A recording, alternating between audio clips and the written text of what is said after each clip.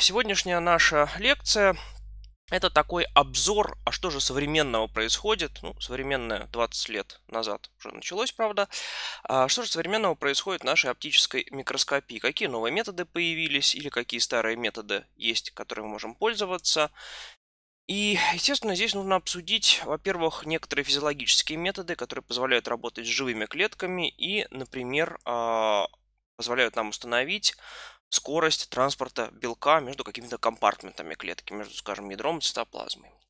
А мы сможем поговорить с вами о методах, которые нам позволят на клетку влиять. Мы уже говорили немножко об оптогенетике, но у нас есть и другие способы при помощи света а, каким-то образом изменять параметры, в которых находится клетка. Поэтому поговорим с вами о такой вещи, как uncaging мы должны будем поговорить о том, чего нового в конфокальной микроскопии за последние 10 лет появилось относительно того, что мы с вами описали, и несколько методов дополнительных. Это микроскопия полного внутреннего отражения, это двухфотонная микроскопия, это несколько методов сверхразрешения, конечно же их гораздо больше, но поговорим мы только об основных, и э, несколько подходов дополнительных уже, которые, скорее всего, будут нужны не всем, а только тем, кто будет заниматься больше, скажем, биофизикой. Это флуоресцентная корреляционная спектроскопия, это микроскопия времени сдухания флуорохрома.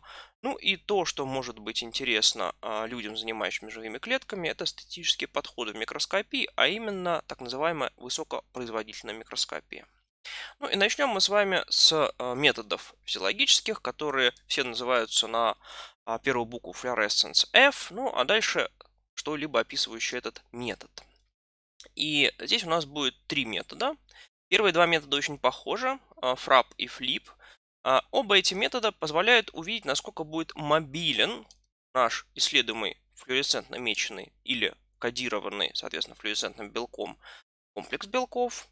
И если первый метод позволит сказать, насколько он мобилен в пределах э, компартментов, то второй метод позволит увидеть, вообще возможен ли транспорт этого белка из одного компартмента в другой и какая скорость этого транспорта. Ну и последний, третий метод, это форестовская резонансная передача энергии или FRED. Иногда ее не очень правильно расшифровывают сейчас э, как флуоресцентная резонансная передача энергии. На самом деле форестовская резонансная передача энергии. Она позволяет нам с вами узнать, насколько близко два белка находятся друг к другу. Причем близко в данном случае это а, уже десятки ангстрем, то есть это единицы нанометров. Ну и начнем с описания первых двух методов. Предположим, у вас есть клетка, вы ее специальным образом трансфицировали, у вас наработался зеленый флуоресцентный белок, сшитый с белком интерес. То есть там, где оказывается ваш белок интереса, вы можете увидеть и флуоресцентную метку. Теперь а, вы смотрите на вашу клетку, у нее, естественно, есть а, эта метка, и теперь, как вы помните, у нас есть такой феномен, как фотовыцветание. Если мы будем подавать достаточно яркий свет, некое продолжительное время, то в какое-то определенном месте, где этот свет попадал, у нас весь флуорохром перестанет флуоресцировать. Он перейдет в неактивное состояние, либо за счет каких-то химических преобразований, либо за счет чисто конформационных, но, в общем, он уже светиться больше не сможет.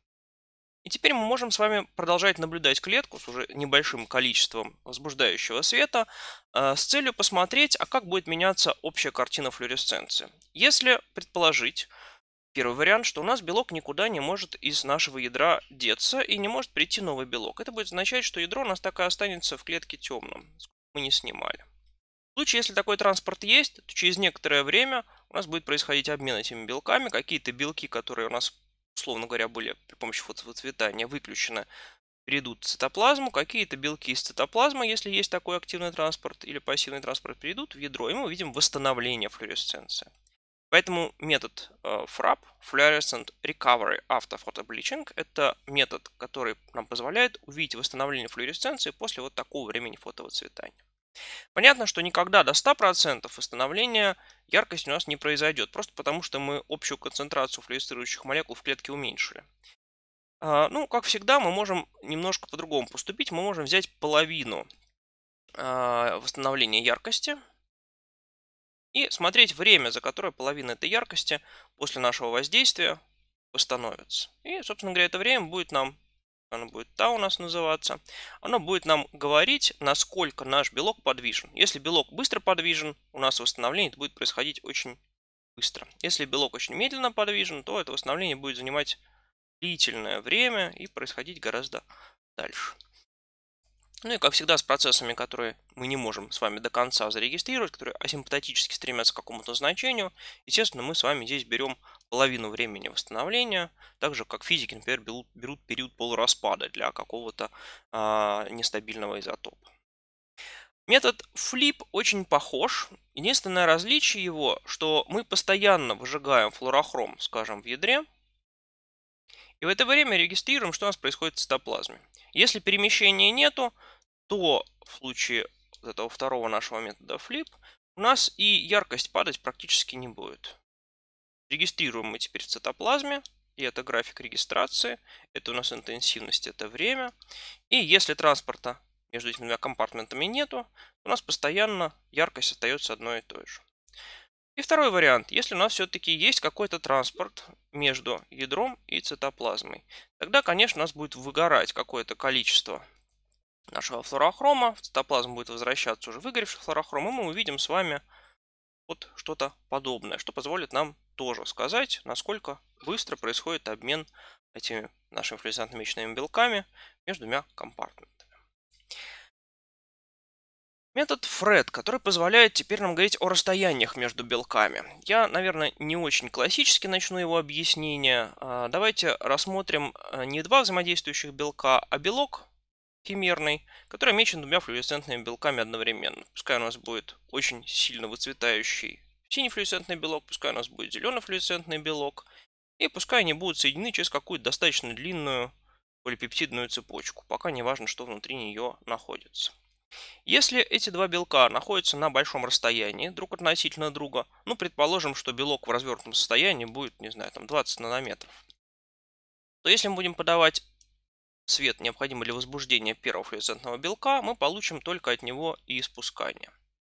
А вот теперь предположим, что каким-то образом изменилась конформация а, этой полипептидной цепочки, и эти два белка оказались на расстоянии очень небольшом. Предположим, где-нибудь 4 нанометра. И тогда, возможно, безизлучательная передача энергии с первого белка на второй. То есть мы освещаем все те же самые 380 нанометров, но 440 у нас практически не идет, очень мало. Очень-очень-очень-очень мало. Хотя, конечно, какое-то количество есть. А вот теперь мы видим с вами испускание второго белка. Это возможно только в том случае, если спектр испускания первого белка перекрывается со спектром возбуждения второго белка. И тогда мы будем видеть уже испускание, соответственно, вот этого нашего 510 нанометров второго белка. Видит возбуждение для первого, пускай у нас будет 380. Как себе можно представить этот феномен? Представьте, что у вас есть два магнита, которые один находится на столе, другой под столом. Если расстояние между ними, то есть толщина столешницы небольшая, то поворачивая первый магнит, у вас будет поворачиваться второй магнит. Понятно, что между ними происходит передача энергии. Вы можете таким образом вращение передать одного магнита к другому. Если же расстояние растет, столешница стала больше, вы магнит положили выше, то такого передачу эффективной уже быть не может. Это, конечно, такая очень э, не строгая с точки зрения формальной физики объяснение, но тем не менее понятно, что здесь происходит. Если у нас один из флуорохромов оказался в возбужденном состоянии, как вы помните, у него один электрон находится в более энергетическом состоянии. Электрон движется. Что это означает? Это означает, что у нас молекула стала таким диполем. Если есть такой же примерно диполь, который может быть ему резонансен, который может эту энергию забрать, то есть возможность этого диполя эту энергию забрать на себя, ну а дальше ему уже придется излучить этот фотон, потому что в принципе это то же самое, как будто мы его возбуждали при помощи соответствующего фотона света. А теперь смотрите, что интересное может быть. Во-первых, мы можем теперь, если это будет два отдельных белка, посмотреть, когда они оказываются на очень близком расстоянии. Согласитесь, 4 нанометра даже с микроскопией сверхразрешения пока недостижимые для нас размеры. Но за счет просто изменения спектра, который мы получаем, мы можем сказать, действительно ли два белка так близко расположены, или они расположены дальше. Ну и второй момент.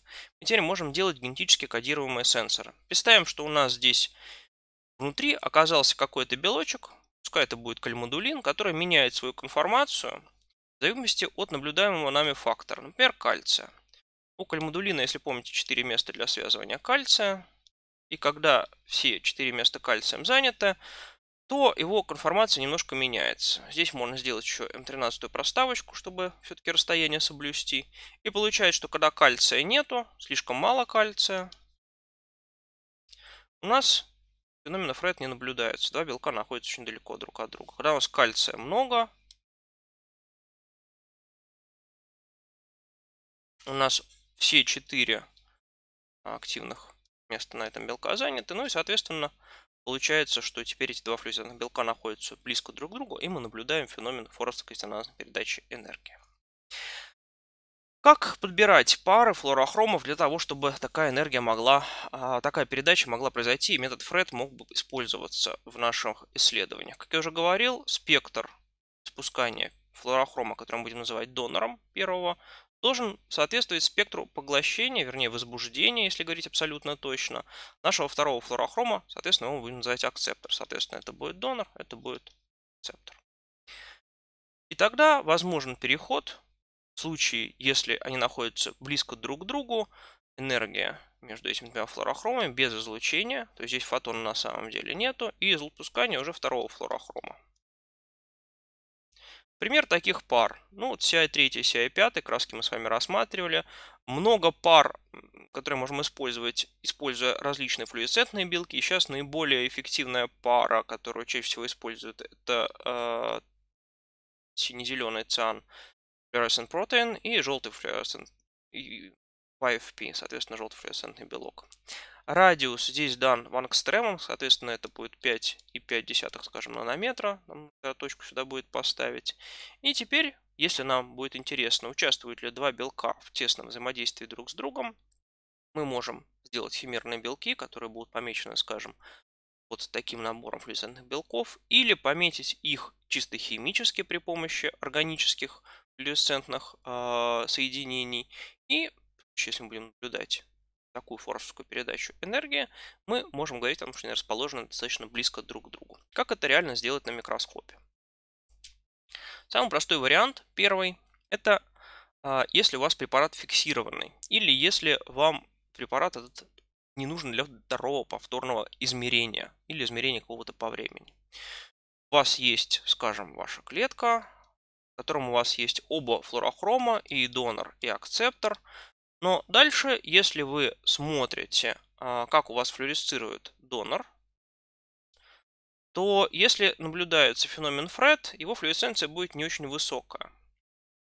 Очень большую часть его энергии, которая могла бы пойти на испускание фотона, будет забирать акцептор. Да, феномен Фред есть, есть переход, мы освещаем наш донор – Донор у нас еле-еле-еле светится, но зато у нас хорошо светится акцептор. Что мы теперь можем сделать? Мы теперь можем вот этот акцептор сделать не светящимся. То есть просто его брать из этого уравнения. И тогда понятно, что у нас теперь будет очень хорошо флюоресцировать именно наш донор, первый флуорохром. Что мы делаем? Мы выбираем какую-то небольшую область, которую мы хотим проверить наличие вот этого вот эффекта. Мы ее сильно освещаем светом, который должен наш акцептор при помощи фотовыцветания из этого процесса убрать. И дальше смотрим, как изменилась у нас яркость нашего донора. Ну и можем сделать теперь картинку сравнения. Картинки номер один, картинки номер два, а это, соответственно, отношение 1 к 2. И, как видите, действительно в этом месте флуоресценция нашего донора сильно возросла. Если мы откалибруем специальным образом наш прибор, если мы будем использовать что-то в виде стандарта, мы можем с вами, в принципе, даже посчитать, какой примерно процент такого взаимодействия всех молекул мог бы быть. Ну и формула для подсчета, как видите, здесь крайне простая.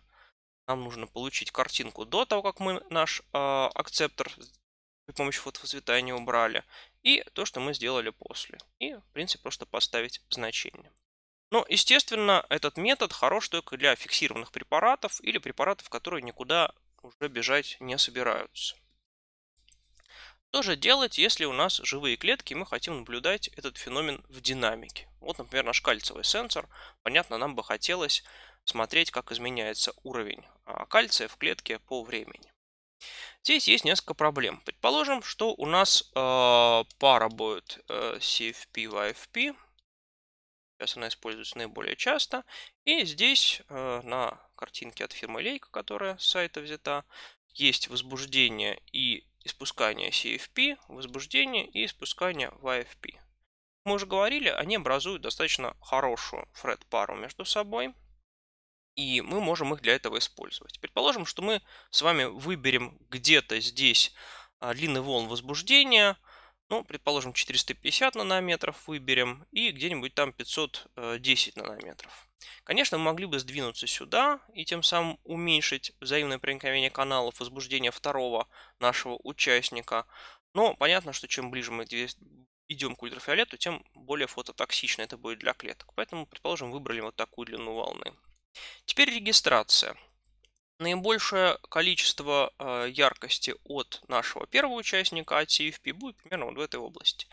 Хотя, обратите внимание, мы будем захватывать при этом и кусочек спускания от нашего акцептора. Ну, для акцептора мы можем выбрать вот такую область, но посмотрите, мы с вами захватываем значительную часть спускания от нашего донора. То есть получается, что у нас и возбуждение возбуждает оба флуорохрома, хотя первый в большей степени, второй в меньшей. И испускание у нас, что для первого, что для второго, имеет небольшое взаимное проникновение каналов. И нам нужно как-то с этой проблемой бороться. Потому что если мы теперь просто посчитаем, скажем, соотношение э, этих двух частей, то получится, что в принципе мы будем наблюдать якобы фред всегда. Что, конечно же, неправда. Как мы теперь можем с вами поступить? Ну, во-первых, можем разделить вот это взаимопроникновение каналов. Предположим, что это спектр испускания нашего э, а, CFP. Соответственно, это у нас с вами получается донор. И понятно, что его спектр вот таким образом может быть разделен. Можем посчитать коэффициент, который будет называться коэффициентом бета. То, что мы регистрируем в канале самого по себе донора и то, что протекает в канал нашего акцептора, какая часть этого излучения там оказывается. А теперь то же самое можем сделать с вами и для второго участника. Вот наш YFP. И вот какая часть его оказывается в канале донора, вот какая часть оказывается в канале акцептора. И можем посчитать еще три коэффициента, альфа, гамма и, соответственно, бета. Посчитав эти коэффициенты, мы можем использовать несколько различных формул для того, чтобы теперь можно было учесть вот это вот неприятное влияние взаимного проникновения каналов. Когда какую формулу использовать, э, я сейчас рассказывать не буду. Есть между ними небольшая разница. Если кто-то будет заниматься этим методом, то э, могу порекомендовать статьи, в которых более подробно это описано. Но что бывает очень удобно? Предположим, что у нас наш генетически закодированный сенсор, где есть CFP, что-то, что меняет конформацию, и YFP. Так мы точно знаем соотношение 1 к 1, то есть это получается стохиметрически равное количество флуорохромов у нас находится, то всю вот эту сложную формулу в большинстве случаев мы можем упростить вот до такого состояния. И по идее считать количество фред взаимодействия после калибровки, когда максимальное фред взаимодействие и минимальное фред взаимодействие, а по просто делению яркости донора на яркость акцептора. Таким образом, этот метод позволяет нам посмотреть расстояние между двумя флуорохромами, будь они на разных белках или на одном и том же белке, и в том числе использовать вот такие генетически закодированные сенсоры для различных э, клеточных э, внутри клеточных процессов. Кальций, инзидол 3-фосфат, циклическая АМФ, напряжение на мембране, все, что хотите. Сейчас таких сенсоров есть очень большая библиотека. Раз мы с вами имеем сенсор, то нам бы, конечно, было бы интересно наши клетки каким-то образом еще и стимулировать. Понятно, что если у нас клетки под микроскопом, мы можем просто менять жидкость, в которой они находятся. По одной трубочке ее подавать, другой трубочке ее забирать. Но согласитесь, процесс достаточно медленный, во-первых. А вторая проблема, что этот процесс будет затрагивать весь объем жидкости, который у нас находится под нашим микроскопом, и, соответственно, все клетки и все их органеллы. Ну что можно сделать из интересного? А, некоторые вещества под воздействием света определенной длины волны могут разлагаться. И мы можем использовать это свойство для того, чтобы сделать какое-то вещество, которое, по идее, должно быть биологически активным, например, глутамат.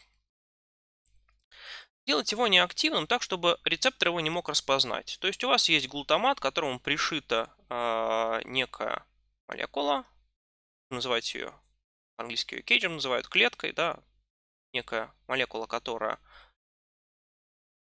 меняет его свойства, рецептор уже не может распознать его, и, соответственно, этот глутамат не работает как нейромедиатор. Дальше, если мы подадим с вами определенной длины волны свет, предположим 405 нанометров, то у нас произойдет фотохимическая реакция. Отдельно у нас теперь появится вот эта клетка. И отдельно появится глутамат. Понятно, что свободный глутамат у нас теперь может быть распознан рецептором. Ну и, соответственно, клетка может на такое ответить. Чем это хорошо? Предположим, мы с вами смотрим целиком какую-то нервную клетку, которая нас интересует. У нее есть дендриты, у нее есть один аксон. И мы, например, смотрим э, эту клетку, меченную красителем, который позволяет нам видеть напряжение на мембране. Мы добавляем в этот раствор, где находятся клетки, это вот исходное соединение, где у нас есть и глутамат, и вот эта фотоотщепляемая часть. Э, это вещество клеткой не распознается как глутамат, и мы теперь можем при помощи, например, а, если конфокальный микроскоп, при помощи сканирования переключить какой-то части нашего изображения а, длину волны света с той, которую мы используем для наблюдения этой клетки, на, скажем, 405 нанометров. Ну, скажем, вот только вот в этой области. Это будет означать, что только в этой области весь этот э, глутамат, который соединен с клеткой, будет при помощи фотореакции теперь разложен на отдельно эту клетку и, соответственно, на наш вот этот глутамат. Это будет очень небольшой объем, это будет меньше пиколитров. И понятно, что концентрация в этом объеме этого глутамата будет большая. И клетке придется каким-то образом на эту концентрацию глутамата ответить. Если мы с вами регистрируем, например, изменение потенциала на мембране, понятно, что раз это дендрит, то у нас здесь будет небольшое изменение, и если значение э, этой деполяризации будет значительно, то в зоне аксонного холмика у нас произойдет формирование потенциала действия, и дальше мы увидим это уже распространяющееся по аксону. Таких веществ кроме глутамата, достаточно много. Это далеко не, исчерпываемый, не исчерпывающийся а, список. Ну, как видим, здесь есть вторичные посредники, энзитол, здесь есть где-то кальций был, а, здесь есть а, вещества, которые позволяют разрушать нервные клетки, каиновая кислота, например, кальций. Ну, в общем, много самом деле, конечно, так как это в основном использовалось, нач, начало использоваться для исследования на нервной системе, здесь очень большое количество э, различных медиаторов, которые таким образом тоже соединены с вот разлагаемым местом. Смотрите, микроскоп у нас теперь стал инструментом, который позволяет нам количественно наблюдать какие-то физиологические параметры, например, напряжение на мембране, концентрацию кальция, концентрацию инзитол-трифосфата, чего хотите. И в то же самое время мы теперь можем с вами еще и воздействовать на клетку маленькими органическими веществами, такими как, скажем, глутамат при необходимости, в очень ограниченных объемах. То есть мы теперь можем этой клеткой еще как-то управлять. Ну и если просуммировать все, что мы можем, слайд с прошлой лекции, то на самом деле теперь возможности наши для как наблюдения, так и а, скажем, а, управление какими-то процессами внутри клетки становятся достаточно большими. Но что же нам с вами все-таки не хватает? Что же мы хотели бы от нашего микроскопа, если мы могли сделать некое такое вот задание, да, хотим микроскоп, который обладает вот такими свойствами. Предположим, его можно было бы сделать. Конечно, мы бы хотели наблюдать с вами все процессы не на фиксированном препарате, и даже не в клеточной культуре, а целиком в какой-то ткани животного. Понятно, что условия там несколько другие, чем на фиксированном препарате и даже чем в случае монослоя клеток. Нам бы хотелось иметь очень большое временное разрешение, чтобы, например, видеть распространение потенциала действия. Нам бы хотелось иметь возможность сканировать очень глубоко, взять целую мышь и, скажем, э, сканировать целиком весь ее мозг на всю глубину, чтобы для каждого нейрона, скажем, видеть, как меняется его активность при каком-то воздействии. Нам бы хотелось иметь максимальное разрешение по x, y и z. Нам бы, естественно, хотелось иметь наилучшее соотношение сигнал-шум, чтобы даже слабый сигнал мы могли с вами увидеть. Конечно, если какие-то новые методы, такие же, как мы только что описали, еще появятся, которые позволят какие-то новые параметры нашего организма зарегистрировать, было бы прекрасно. И, естественно, нам бы хотелось э, смотреть на какие-то очень малые изменения. Ведь согласитесь, если раньше в биологии смотрели, скажем, э, на цитотоксический тест, где клетка либо умирает, либо живет, сейчас используются более дробные тесты, которые смотрят, насколько клетки становятся, скажем так, хуже или лучше при таких условиях. Но при этом, так как ответ у нас не очень простой уже, да, нет, нам нужна достаточно большая статистика, чтобы можно было эти маленькие изменения очень хорошо выявить. Ну и последнее, нам, конечно, бы хотелось, чтобы инструмент был очень удобным, чтобы нам не нужно было особо долго учиться его использовать. Конечно, ни одного инструмента, позволяющего решить все эти проблемы, так и не создано, но тем не менее мы поговорим о методах, которые тем или иным образом позволяют нам решать хотя бы одну из этих проблем до какой-то степени. Ну и первое это э, увеличение скорости работы инструмента, то есть временное разрешение. Мы с вами поговорили о камерах, и когда говорили о камерах, говорили о камерах с э, так называемым электронным усилением EMCCD и камера CMOS. Более того, эти камеры могут охлаждаться достаточно хорошо для того, чтобы убрать, собственно, тепловой шум. Здесь, как видите, этой камере требуется аж водяное охлаждение – для того, чтобы она могла нормально функционировать. И, если вы помните, у камер квантовая эффективность в некоторых случаях для определенных длин волн может достигать 90%. То есть из 100 фотонов, которые на нее попадают, 90 из них вы сможете зарегистрировать, что, конечно, очень неплохо. Плюс скорость работы камер сейчас достаточно хорошо увеличивается. То есть есть камеры, которые позволяют для небольшой картинки, скажем, 512 на 512 точек, Получать э, во флюоресцентном режиме изображение э, более 100 кадров в секунду. Что уже, в общем, неплохо. В случае конфокального микроскопа, как вы помните, скорость у нас ограничивала два фактора. Это э, зеркала, которые нам нужно двигать, чтобы пучок по препарату мы могли перемещать, и детектор фотоумножитель, который мы с вами используем, который имел очень низкую квантовую эффективность, ну и другие неприятные особенности. В связи с этим э, появились достаточно давно так называемые резонансные сканеры. Ведь в чем проблема? Если у нас есть зеркальце, то даже если оно очень мало весит, чтобы его постоянно из стороны в сторону двигать, нам нужно затрачивать какую-то энергию. То есть это маленькое зеркальце будет обладать инерцией. И чтобы преодолеть эту инерцию, чем быстрее мы его хотим двигать, тем больше энергии нужно затратить. В какое-то время либо слишком много нам нужно энергии затрачивать, двигатель нужно большой для этого сделать, который будет еще больше инерции обладать. Либо зеркальце окажется не настолько а, крепким, ну и просто развалится. Поэтому возникла идея сделать такое зеркальце гибким. И тогда при быстром движении мы не полностью перемещаем всю массу, и вот такое вот зеркальце, находящееся в состоянии резонанса, когда постоянно движение есть, оно постоянно изгибается, может обеспечивать нам скорость сканирования до 12 тысяч линий в секунду. То есть такое зеркальце будет делать 12 тысяч колебаний в секунду. И понятно, что теперь мы можем этими линиями распорядиться по-разному. Можем, например, просить наш конфокальный микроскоп только одну линию постоянно сканировать. С вами сканирование, скажем, по x, t по времени.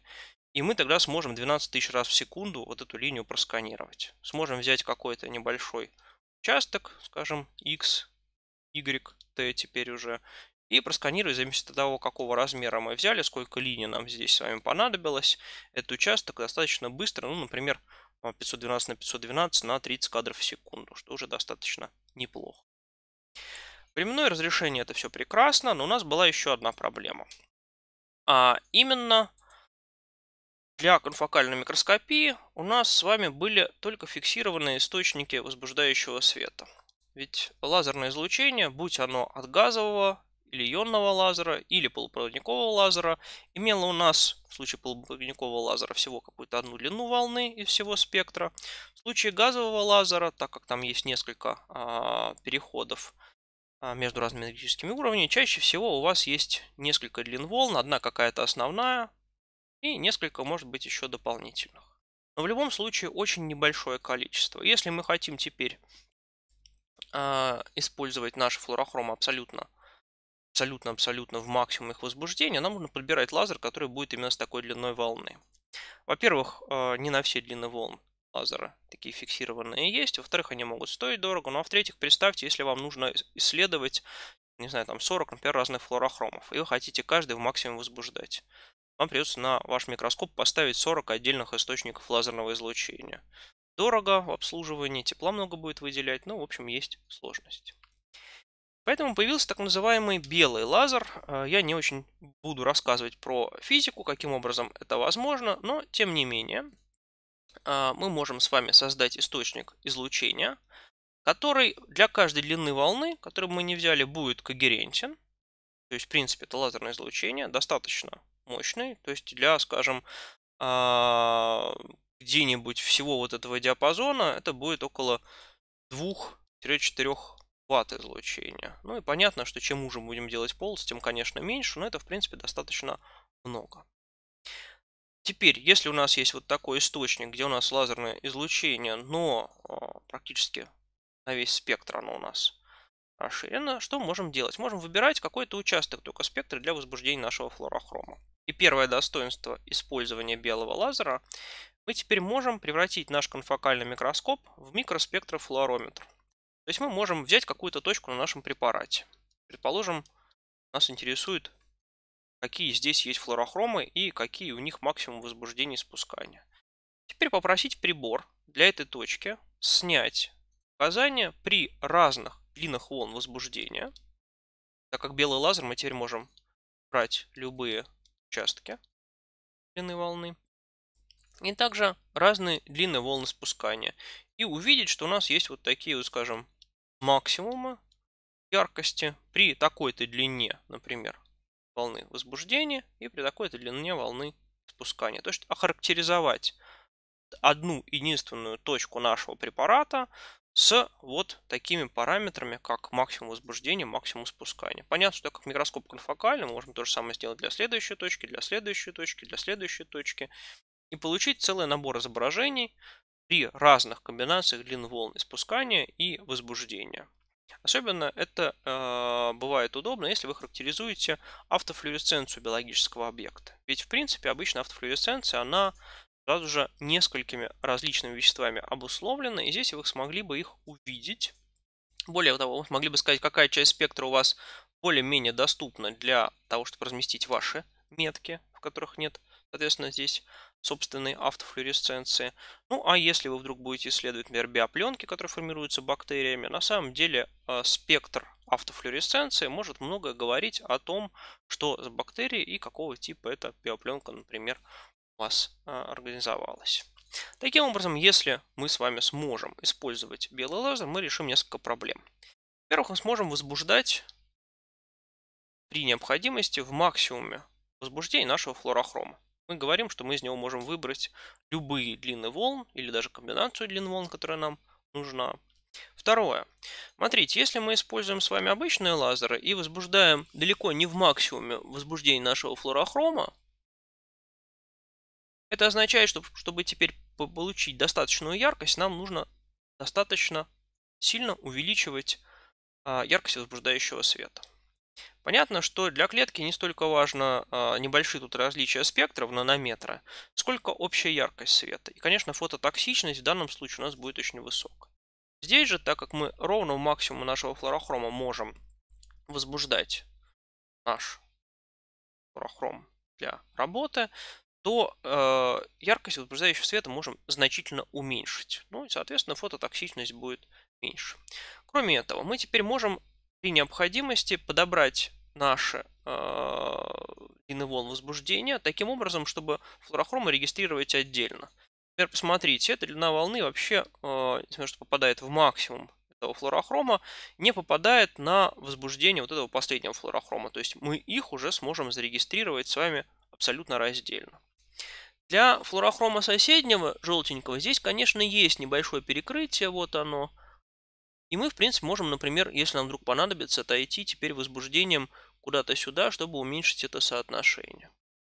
То есть, еще один момент, для чего это можем использовать, если нам нужно разделить несколько достаточно сложных флуорохромов, в которых близкие спектры спускания и возбуждения, за счет того, что мы теперь можем еще и возбуждение регулировать, можем это с вами делать. Таким образом, применение белого лазера оправдано как минимум с целью уменьшения а, фототоксичности и с целью возможности работы вот с такими сложными случаями с перекрытиями нескольких флуорохромов и одновременной их регистрации. Следующее изменение.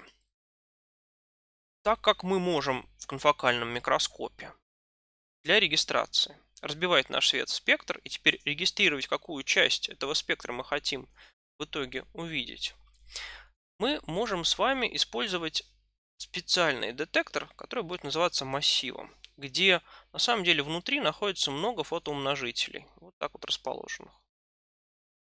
И в принципе, поместив такой детектор теперь за светом разбитым в спектр, можем одновременно зарегистрировать весь спектр спускания каждой точки нашего препарата. Понятно, что это будет быстро, понятно, что в случае некоторых исследований это может быть очень полезно. Конечно, есть ограничения. Весь этот массив управляется одним и тем же напряжением.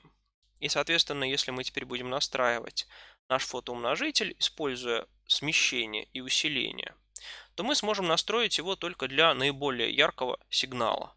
Ну, а наиболее темные сигналы будут не очень а, хорошо регистрироваться, но зато это будет одновременно. в принципе, можем Потом, при необходимости, уже виртуально на полученной информации поставить какой-нибудь блокирующий фильтр. Например, сказать, что мы хотим видеть только вот эти длинные волны. И только вот эти длинные волны. То есть в данном случае это позволяет нам работать со сложными смесями флуорохромов или флуорохрома, которые меняют каким-то образом свои спектры при экспериментальном воздействии. Следующее применение массива детекторов. Еще одно очень интересное. Может быть, слышали про такой метод э, фирмы Zeiss, который называется Airiscan. В стандартном конфокальном микроскопе у нас есть пинхол, который позволяет нам ограничить весь внефокусный свет и заставить пройти через него только свет, который находится совершенно-совершенно вот в максимуме возбуждения, то есть, соответственно, находится вот на конфокальной софокусной плоскости с этим пинхолом. Что мы можем на самом деле сделать? А что если мы будем использовать не один детектор, пускай у нас будет фотоумножитель или а, какой-нибудь там другой детектор, а вот такой вот массив детекторов. Теперь, так как у нас пинхол стоит и на возбуждение, помните, возбуждение у нас тоже пинхолом ограничено, то на самом деле будет только одна точка в препарате и то, что выше ниже в виде песочных часов возбуждаться, то теперь получая софокусную с максимумом нашего вот этого фокуса, где находится препарат, картинку, мы увидим, естественно, нашу э, точку, которая находится в фокусе, максимально хорошо ярко именно в центре этого детектора. А весь остальной свет будет где-то по краям. То есть, в принципе, мы теперь можем, регистрируя только с центральной части этого детектора свет, сказать, что вот это вот наш источник, который находится ровно в фокусе, наиболее яркий. А, ну, а предположим, теперь мы хотим для этой же картинки получить лучшее соотношение сигнал-шум. Мы можем взять еще и соседние точки, тем самым виртуально уменьшив пинхол, ведь на самом деле это получается то же самое, что здесь делал пинхол. Пинхол у нас из всей картинки вырезал только какую-то часть. теперь мы регистрируем вот эту всю картинку, но можем теперь сказать, что мы хотим использовать данные только с центра. То есть там, где у нас пинхол был бы практически полностью закрыт или с какой-то большей части этого же изображения, или и так далее. И, соответственно, с использованием такого виртуального пинхола мы можем с вами получать некоторое улучшение разрешения. Почему? Потому что, как вы помните, чем мы меньше пинхол делаем, тем у нас разрешение микроскопа станет лучше. Но при этом, смотрите, насколько сильно увеличивается шум. Да, то есть отношение, здесь, кстати, у них неправильно написано, это был 1.25 фирмы Zeiss. Посмотрите, здесь получается при пинхоле около одного у нас картинка яркая, хорошая, но разрешение не очень хорошее. Здесь у нас картинка получается очень темная, шумная, хотя и с большим разрешением. И теперь, если мы то же самое сделаем с этим эйрисканом, то мы можем получить картинку с хорошим соотношением сигнал-шум, но и при этом с разрешением, которое мы получили при вот настолько сильно закрытом пинхоле. С массивным детектором разобрались, очень полезно. Продолжая тему детекторов, а, то, что нам мешало получить с этого детектора хороший сигнал. Дело в том, что фотоумножитель обладал несколькими неприятными особенностями. Во-первых, у него был собственный э, темновой ток. Как вы помните, э, у нас был фотокатод. Это устройство, которое фотон, приходящий, преобразовывало в электрон. Дальше у нас была серия отдельных вот таких электродов под разным напряжением. Электрон преодолевает расстояние с какой-то определенной энергией, ударяясь в поверхность этого электрода, выбивал из него еще несколько вторичных электронов, они дальше шли, опять выбивались. Но, к сожалению, в этом приборе возможен так называемый темновой ток. То есть даже если мы ничего не будем подавать на его вход, никакого света не будет, есть некий шанс, что, скажем, один электрон где-то может образоваться на каком-то из этих электродов спонтанно. Получим так называемый темновой ток, который мы как раз с вами компенсировали при настройке детектора, когда использовали так называемое смещение. Это вот offset. Это, собственно, компенсация вот этого темнового тока. Кроме фотоумножителей, есть еще несколько типов фотодетекторов, которые могут использоваться в конфокальной микроскопии. Один из этих типов это так называемый лавинный фотодиод. Диод это полупроводниковое устройство, которое позволяет току протекать только в одном направлении. Такой обратный клапан. Да, в одну сторону ток пропускаю, в другую не пропускаю. Но есть возможность э, это устройство функционировать плохо. Заставить его все-таки в обратном направлении ток тоже пропустить. Как это можно сделать? Если вы это устройство будете держать под напряжением, при котором возможно его пробой, то есть возможно перемещение спонтанных зарядов в обратном направлении, и в это время на это полупроводниковое устройство придет фотон света, то в данном случае возникнет возможность проведения тока и в обратном направлении, и мы можем зарегистрировать это событие. А, чтобы теперь этот наш лавинный фотодиод не сгорел, его нужно очень быстро отключить и некоторое время ему дать на восстановление.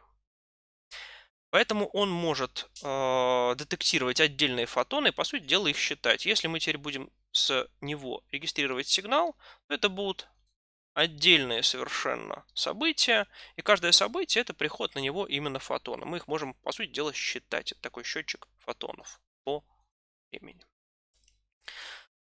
Это, конечно, хорошо. У него очень маленький темновой ток, то есть э, за секунду он случайно, без света, всего где-то 300 таких событий сам может сгенерировать. В то же самое время фотоумножитель за секунду там десятки тысяч таких событий может сгенерировать.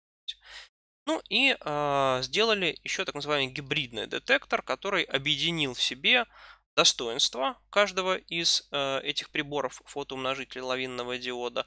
Каким образом? Во-первых, э, для лавинного диода, как помните, нужно было время на восстановление. То есть после того, как он зарегистрировал фотон, чтобы он не сгорел, нам нужно было отключить на нем напряжение, дать ему некоторое время прийти в себя, и потом могли бы опять снова его использовать. Поэтому примерно 20 наносекунд у него уходило на детекцию фотона, и еще 20 наносекунд его нужно было держать в выключенном состоянии. То есть 40 наносекунд у нас была возможность детекции следующего фотона. Следующий фотон только через 40 наносекунд могли бы с вами зарегистрировать. А, но у гибридного фотоумножителя у нас есть все плюсы. Очень маленький шум, поэтому, в принципе, нам не нужно даже делать а, компенсацию офсета, потому что у него 0, это действительно 0, начинается прямо вот, вот так. То есть, в принципе, офсет здесь не нужен.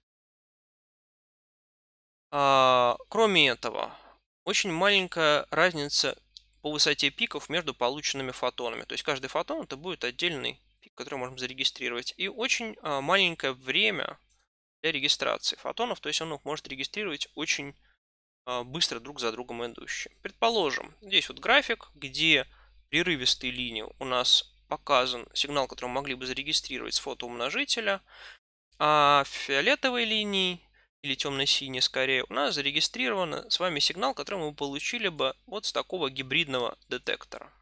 И посмотрите, фотоумножитель у нас э, каждый раз дает немножечко разную высоту пиков. Это связано с его внутренними особенностями, тут ничего не поделаешь. В случае гибридного детектора высота пиков примерно одинаковая. При этом здесь, так как пик был очень маленький, мы не смогли его зарегистрировать и упустили бы. Это пики наверху, которые мы зарегистрировали бы фотоумножителем, всего 4 фотона. Это то, что мы зарегистрировали бы гибридным детектором, 6 фотонов. Как видите, применение такого детектора, оно позволяет нам работать с лучшим соотношением сигнал-шум, а это означает, что мы можем увеличить с вами, опять же, скорость сканирования нашего микроскопа. Или, если нам необходимо, уменьшить яркость возбуждающего света, что позволит нам работать с живыми клетками более удачно.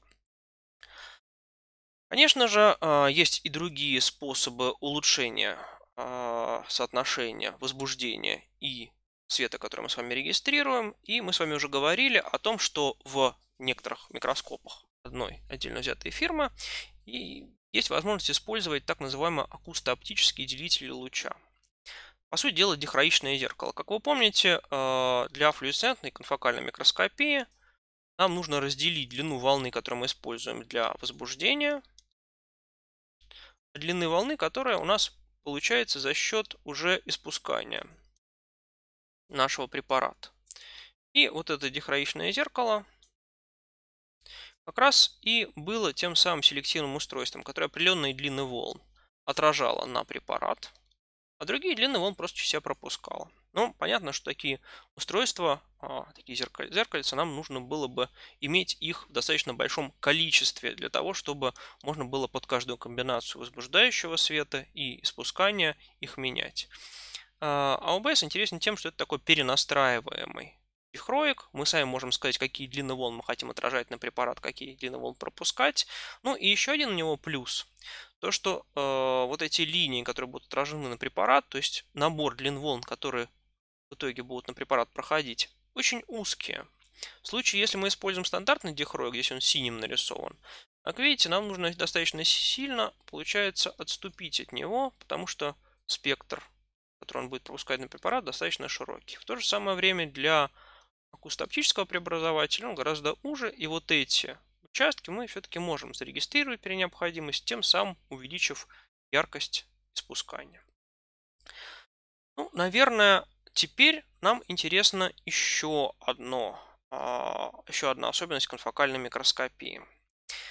Дело в том, что в некоторых случаях у нас испускание наших флуорохромов очень близко, так же как возбуждение. Предположим, вот такая картинка у нас с вами, и э, синим у нас один флуорохром, а зеленым, скажем, автофлуоресценция. Вернее, наоборот, зеленый это у нас будет наш сигнал, это будет у нас автофлуоресценция. Как видите, они настолько близки, что при помощи просто спектрального разделения нам их не разделить. Мы будем видеть и одно, и другое. Вот пример. Посмотрите, здесь телокоиды внутри видны, и мембрана видна достаточно хорошо. Но мы можем использовать еще один подход. Если у нас источник света будет не постоянно светить возбуждающего, а тоже будет импульсным, теперь мы можем регистрировать свет, который будет проходить через определенное время после того, как мы подали импульс возбуждающего света. Чем это интересно? Давайте посмотрим, как будет меняться яркость нашего флорохрома, который нас интересует. Он будет вот здесь вот красным, извините, синим. Это наш сигнал. Ну и автофлуоресценция. И зеленым пускай будет наш сигнал, который нас интересует. А, здесь время, пускай это будет наносекунды, к примеру. И мы видим, что в самом начале, так как флуоресценция происходит не одномоментно, а есть некоторое время задержки между поглощением фотона и испусканием, то для автофлуоресценции, посмотрите, максимальное количество фотонов испускается очень рано. А для нашего флуорохрома время жизни достаточно длинное. И есть участок, вот это время – где у нас яркость нашего флуорохрома достаточно высока, это наш сигнал, а яркость нашей автофлуоресценции уже достаточно низка. Вот картинка, которую мы получим. Как видите, мембрану здесь видно, а телокоиды внутри уже не видно. Что нам для этого понадобилось? Нам для этого понадобился источник света импульсный, который не постоянно работал, а, а светил только через какие-то промежутки времени хотя и достаточно мощно. И нам было необходимо отступить от этого импульса какое-то время, например, полторы наносекунды. То есть мы с вами осветили наш препарат, подождали полторы наносекунды, и только после этого начали регистрировать цвет, который от этого препарата мы с вами стали получать. И за счет этого мы смогли избавиться вот от этой вот автофлуоресценции, которая находилась внутри наших клеток. Еще один плюс этого же подхода – это то, что мы теперь можем а, работать примерно на длине возбуждения. Предположим, у нас есть некий флуорохром, у которого спектр испускания возбуждения очень близок. И, конечно, зарегистрировать здесь нам очень сложно его, потому что мы попадем с вами на длину волны возбуждения нашего лазера, то есть видим отражение от нашего препарата. Ну и пример при таком сканировании, в данном случае по Z, если мы будем работать на длине волны очень близкой к длине волны возбуждения, мы увидим отражение, например, от покровного предметного стекла. Так это сканирование по Z, то, соответственно, это глубина по нашему препарату. Покровное стекло, наш препарат и предметное стекло. Конечно, нам это очень будет сильно мешать, если мы теперь картинку сложим, у нас все это вместе будет вот так же вот сложено. Предположим, что мы теперь точно так же начинаем регистрировать нашу флуоресценцию, отступив, скажем, 0,5 наносекунды. Понятно, что свет, который был просто отражен, он отражается очень быстро. А флуоресценция процесс все-таки достаточно медленный. И теперь, если мы такое сделаем, посмотрите, не покровного, не предметного стекла мы с вами не видим, но видим только флуоресценцию от нашего объекта. И на самом деле а, вот этот временной подход сейчас в микроскопии очень активно развивается. Потому что он позволяет а, решать очень много проблем. Во-первых, мы теперь можем разделять несколько флуорохромов с близкими спектрами, если у них различается время жизни. Не всегда такое, конечно, возможно, но в принципе это возможный подход. Во-вторых, мы можем теперь работать на длинах волн испускания, близких длинам волн возбуждения. И даже если оптическая система не позволяет нам их разделить, мы можем их разделить просто по времени. Ну и последнее, что здесь важно отметить. А, время жизни флуоресценции очень сильно зависит от окружения. Во-первых, есть уже сенсоры, которые именно за счет времени жизни позволяют вам за счет его изменения посмотреть, например, напряжение на мембране. Ну и второе применение, которое нам очень важно. Помните, мы говорили с вами о феномене Фред, когда мы смотрели расстояние между двумя белками. И у нас было два состояния, когда от донора к акцептору происходит безизлучательная передача энергии, когда она, в принципе, невозможно, потому что они слишком далеко друг от друга находятся. При этом время жизни флуоресценции донора очень сильно будет различаться. Если донору есть возможность быстро передать эту энергию акцептору, то время жизни у него будет очень быстро падать. Здесь время, пускай это будет наносекунды, здесь некая интенсивность в каких-то э, единицах и посмотрите, к второй наносекунде у нас в случае, если есть взаимодействие между донором и акцептором, то 10% всего лишь яркость упала. В случае, если у нас нету фред взаимодействия, да, вот у нас отдельно донор, отдельно акцептор излучает именно донор, то его время жизни излучения, в данном случае то же самое 2 миллисекунды, даст нам эффективность порядка 50%. При этом заметьте, это не зависит от концентрации флуорохрома. Мы сейчас меряем с вами совершенно другой параметр, а именно то, насколько задерживается яркость испускания, или количество фотонов по времени от начала возбуждения, в зависимости от того, есть ли возможность форсовской передачи, близко ли находятся эти два белка или достаточно далеко друг от друга. И вот этот вот так называемый флим фред очень интересный метод, который позволяет количественно определять, сколько, какое соотношение белков у вас сейчас находится близко, и возможно вот это соотношение, и сколько белков у вас находится достаточно далеко, и при этом феномена Фред наблюдаться не будет. Поговорив о конфокальной микроскопии, конечно, нужно затронуть еще один а, весьма нишевый вариант микроскопии, это так называемая микроскопия полного внутреннего отражения. А, метод очень, с одной стороны, простой и достаточно ограниченный в своем применении, но позволяет решить очень много проблем. Представьте, что мы используем с вами освещение нашего флуоресцентного препарата под каким-то достаточно острым углом. И препарат у нас находится здесь сверху, скажем, в жидкости, а мы освещаем через покровное или предметное стекло. Как вы помните, после определенного угла критического у нас произойдет так называемое полное внутреннее отражение. То есть свет не должен выходить между раздела фаз во вторую часть. На самом деле здесь физика немножко более интересная. Свет образует здесь стоячие волны, причем в очень небольшом расстоянии, там от 80 где-то до 200 нанометров. Но, тем не менее, если он здесь никак не может поглощен быть, он отражается. Теперь представьте, что мы на а, место, где происходит такое полное внутреннее отражение, поместили нашу клетку. Получается, что возбуждающий свет может проникнуть в эту клетку только в той части, которая практически лежит на поверхности стекла, и по толщине эта зона будет очень небольшой, порядка 200 нанометров. Конечно, мы можем немножко регулировать толщину этой зоны взаимодействия, подавая луч под большим углом или под меньшим углом. До того момента, пока для полное внутреннее отражение у нас еще возможно, потому что если мы возьмем слишком большой угол, у нас какая-то часть света уже сможет пройти, ну, возбуждаться будут все флуорохромы, находящиеся в нашей клетке. Давайте посмотрим картинки, как они будут выглядеть в этом методе. Положим, у нас некая клетка, которая э, адгезирована на покровное стекло, которое мы, собственно говоря, с вами смотрим. Это то, что мы видим в широкопольной микроскопии. То есть здесь вся клетка целиком, и то, что на стекле у нее находится мембрана, и то, что выше.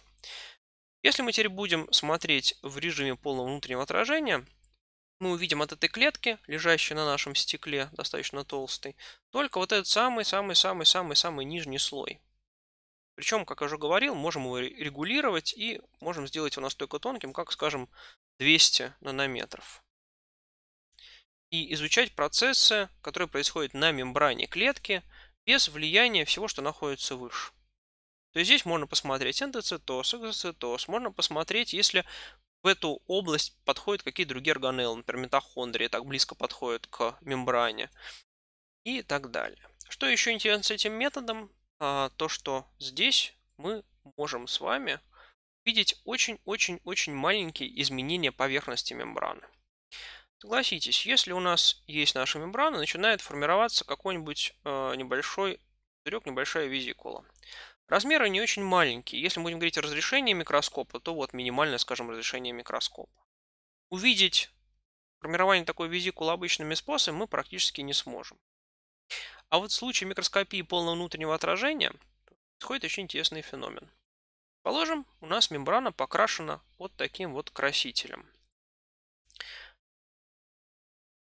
DIL, например. Мы говорили, это трейсерные красители, они жирорастворимые, они встраиваются в мембрану, ну и как трейсерный краситель, например, в нейронауках могут быть использованы, чтобы покрасить клетку целиком.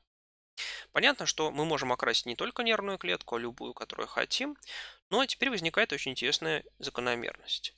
А, этот краситель, эта флуоресцентная молекула будет иметь определенный дипольный момент. И только если электрическое поле будет меняться в этом же направлении – она может поглотить этот фотон и использовать его в дальнейшем для флуоресценции.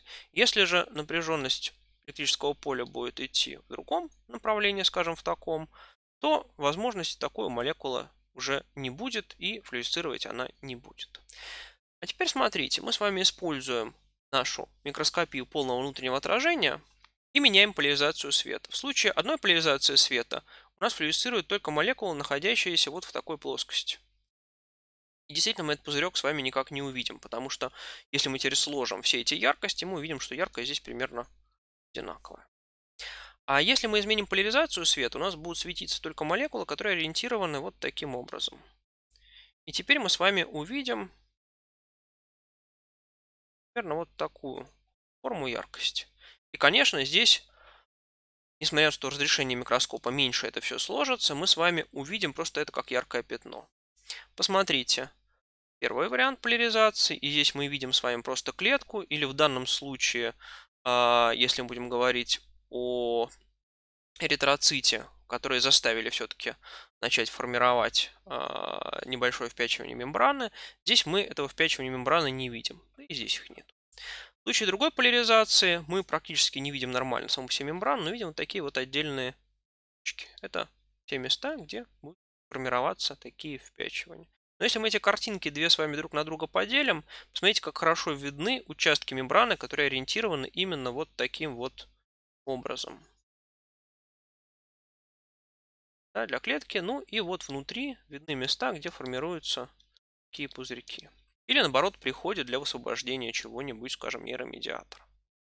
Понятно, что ни одним другим способом такое сделать невозможно. Давайте попробуем для микроскопии внутреннего отражения теперь э, сказать, какие у нее есть недостатки, какие есть достоинства. Ну, недостатки – это только одна плоскость изображения. Да, мы видим только то, что находится непосредственно вот в таком вот расположении. А, рассеяние света, естественно, есть. Мы не можем использовать толстые подложки, например, вырастить клетки на коллагене, потому что проникать свет будет всего на 200 нанометров. Если эти 200 нанометров занять подложкой, то мы ничего с вами не увидим. Ну, а возможности и достоинства здесь, конечно, тоже очень большие. Во-первых, скорость работы. Это та же самая скорость, что скорость камеры, которой мы с вами снимаем. Это тонкий срез. Потому что для конфокальной микроскопии самое тонкое, что мы можем получить, это порядка 500 нанометров, половину микрона. Здесь же мы можем, в принципе, регулируя угол света, получить до 60 нанометров, ну, конечно, при коротких длинных волн. Мы можем наблюдать непосредственно передвижение на такие маленькие расстояния каких-то органелл к мембране. Можем наблюдать все мембранные процессы, которые нас интересуют, и события на мембране, например, организацию каких-то белков а, в рафте. Можем посмотреть, э, на самом деле, даже микроскопию отдельных флуоресцентных молекул. Так как у нас очень высокий контраст, очень хорошее соотношение сигнал-шум, в принципе, такая микроскопия позволяет увидеть, если это флуоресцентные молекулы достаточно стойкие, эти отдельные молекулы. Разрешение, конечно, чтобы увидеть их как отдельные, нас не хватает, но детекция уже вполне возможна.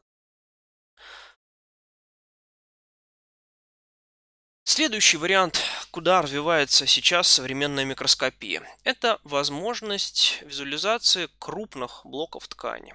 Мы не всегда с вами можем э, сделать срезы с нашего объекта в силу разных причин. Ну, например, э, мы просто не можем нарезать так, чтобы материал не потерять. Или структура очень сложная, и если мы сделаем срез, мы потом не сможем ее восстановить. Или, опять же, вариантов много.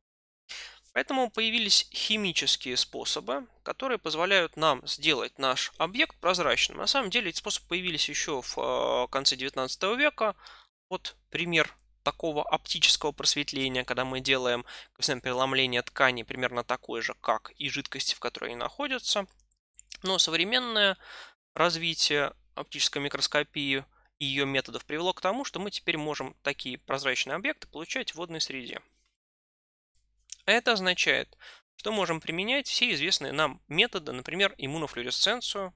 Например, мы можем теперь использовать наши же флуоресцентные белки и получать вот такие вот изображения, где здесь больше миллиметра вот по этой оси, где-то полмиллиметра по этой оси, ну, соответственно, миллиметр по этой оси с лишним. Это кусочек гиппокампа мышки, после оптического просветления снятый блок. Ну и согласитесь, когда вы имеете вот такой объем информации снятый, конечно, работать с ним уже достаточно интересно, учитывая, что нас как раз могут интересовать связи между клетками. Понятно, что снимать такой громадный образец при помощи конфокальной микроскопии это очень-очень много времени займет. Ну, плюс образец будет выцветать. Поэтому для работы с такими блоками используется специальный микроскоп, который освещает в нашем образце только одну плоскость. Это так называемый микроскоп с э, освещением выбранной плоскости. Как он работает? Предположим, что мы возьмем кювету, где расположим наш образец. С одной стороны этой кюветы у нас будет э, размещен объектив, в котором мы регистрируем изображение флуоресцентное, а с другой стороны мы поставим еще один объектив у нас маленькой числовой апертурой. Причем таким образом чтобы а, через этот объектив формировалась вот такая вот фигура из света. То есть, по сути дела, мы объективом подаем с вами просто линию света. Она чуть шире до нашего образца и чуть шире после нашего образца, но в нашем образце имеет примерно одну и ту же толщину. Конечно, чем больше будет числовая апертура объектива для освещения, тем будет хуже. Меньше у нас будет эта зона узкая и больше будет широкая зона. Ну, в принципе, можно подобрать соответствующий объектив для освещения. Так как у нас объект флуоресцирующий, то есть покрашен каким-то нашим флуоресцентным красителем, то только вот в этой зоне, где будет происходить возбуждение флуорохрома, мы увидим с вами и испускание. То есть мы теперь можем делать серию оптических срезов этого объекта, просто передвигая этот вот нашего света плоский, который теперь будет освещать определенные части нашего объекта, и только флюоресценцию с них вторым объективом мы будем с вами регистрировать. Понятно, что в отличие от конфокального микроскопа, который медленно, точка за точкой собирает все эти данные, здесь мы получаем сразу же, если используем камеру, нашего изображения. Передвинули чуть-чуть освещение ниже, да, получили по Z следующую плоскость нашего изображения, следующую. В принципе, современные системы позволяют получать порядка 30 кадров в секунду по глубине для нашего объекта. И, предположим, если вы хотите сделать 1200, например, кадров по глубине, то это счет пойдет на минуты. В случае конфокального микроскопа это часы или дни. Конечно же, говоря теперь о возможности смотреть в объекты глубоко, не всегда мы можем объект сделать вот таким прозрачным. Предположим, мы хотим посмотреть, что происходит в живой ткани. Например, у нас есть живая мышка, и мы хотим посмотреть, что у нее происходит в ее коре. Мы можем покрасить наши нейроны каким-то красителем, который будет отражать напряжение на мембране, либо, а, если хотите, концентрацию кальция и что угодно. Но а, мозг живой – это материал, очень сильно рассеивающий свет. И поэтому ни такой подход нам не получится, свет будет сразу же рассеян, ни обычный конфокальный микроскоп не позволит нам глубоко заглянуть. Но есть другой метод, который называется двухфотонная лазерная сканирующая микроскопия. Давайте вначале посмотрим на то, как будет выглядеть спускание флуорохрома под конфокальным микроскопом. И вот зона фокуса для конфокального микроскопа. И под двухфотонным микроскопом вот зона фокуса. Посмотрите, в конфокальном микроскопе у нас формируются вот такие песочные часы света. Самая узкая часть их – это наша плоскость, как раз где мы наблюдаем наш объект. А в случае двухфотонной микроскопии, здесь вот еле-еле видно, но на самом деле я просто точку поставлю, чтобы было лучше видно, светится только одна единственная точка. Что это означает? Если у нас светится одна единственная точка, нам не нужна даже никакая пинхол диафрагма любой свет, который мы с препарата получаем, только с этой точки, в принципе, и возможно. Ну а давайте теперь перейдем к тому, как, в принципе, это все работает. В случае обычной нашей конфокальной микроскопии и так называемого однофотонного возбуждения мы используем один фотон, чтобы возбудить наш флорохром, и, соответственно, с э, состояния до какого-то возбужденного энергии этого кванта света хватает, чтобы перенести. Как вы помните, а, возбуждение процесс не моментальный. Нужно некоторое время для того, чтобы молекула могла фотон поглотить. Поэтому, если вдруг за это короткое время, я напомню, что свет за это время пробежит всего лишь порядка 300 а, нанометров, то есть это очень быстро. Но если вдруг за это время на эту молекулу придет два фотона с два раза меньше энергии, предположим, мы возбуждали 400 нанометров, а теперь наш на препарат за это короткое время пришло два фотона по 800 нанометров. Их энергии могут сложиться. Смотрите, что произойдет. Мы при помощи возбуждения 800 нанометров смогли возбудить флуорохром, который возбуждался при 400 нанометрах. Но что интересно с этим феноменом? Он очень сильно зависит от плотности фотонов. То есть для того, чтобы это произошло, два фотона должны оказаться около молекулы практически одновременно.